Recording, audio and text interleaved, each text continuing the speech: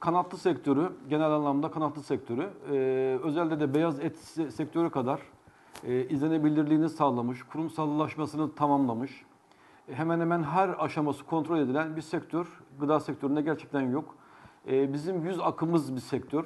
E, ta te- temelden e, çiftçilerin bu- broiler yetiştiriciliğinden yani kurulacak kümeslerin yer seçiminden e, bunların çalışma iznine, kuruluş iznine kadar her aşaması bakanlık tarafından e, denetleniyor.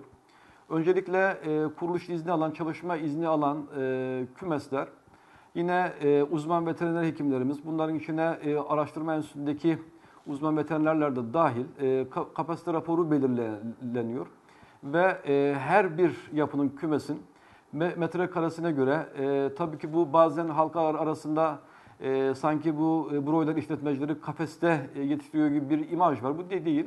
E, her me- metrekareye düşecek e, hayvan sayısı belli. Ona göre e, işletmelerin ka- kapasiteleri belirleniyor. Ve bütün bu üretim e, safhalarında e, bu civcivlerin damızlıklardan, damızlık işletmelerinden gel- gelişine kadar sevk raporları yine e, veteriner hekim kon- kontrolünde yapılıyor.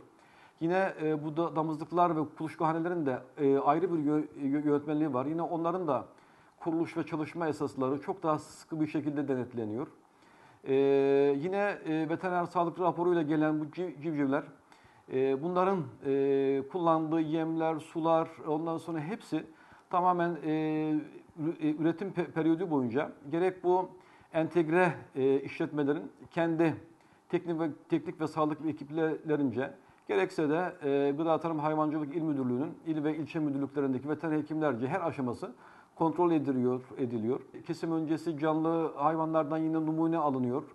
E, bütün aşamaları denetleniyor E, ve yine bunların yetiştiği ku- kuluçkahanelerde dam- damızlıkların 6 ayda bile sağlık e, sertifikaları yen- yenileniyor.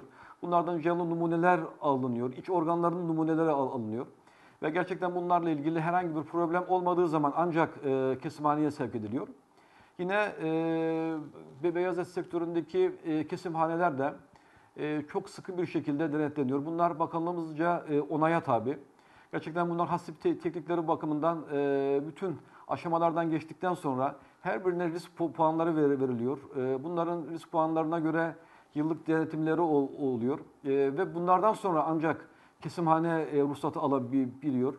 E, yine ke- kesimhanede de bu, e, proseste kullanılan işte sular, e, bütün alet ve ekipmanlar hemen hemen bütün aşamalar e, gerçekten e, denetleniyor. Ancak ondan sonra e, tüketicinin e, sunumuna, ku- ku- kullanımına sunuluyor.